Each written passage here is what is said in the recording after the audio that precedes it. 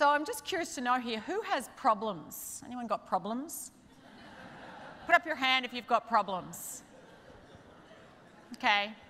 Is, is Jim one of the causes of those? Because I got a feeling. Okay, who here has to sometimes deal with problem people? Are they sitting next to you? Is Jim the cause of that too? Is he one of those? Yeah, I, I had that feeling.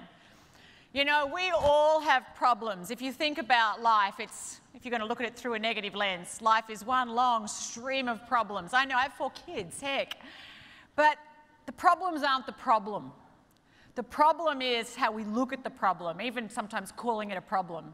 And often, if you look at your problems through a different perspective and you zoom up, as Einstein said, our problems can't be solved at the level of thinking at which they were created. If you look at them through another lens, there's opportunities.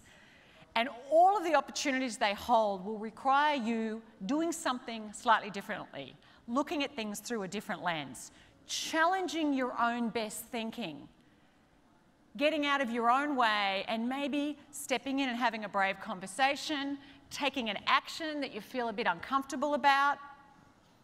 And so, mastery of life and mastery in your career and mastery in your job and your work isn't the absence of problems, it's the mastery of them.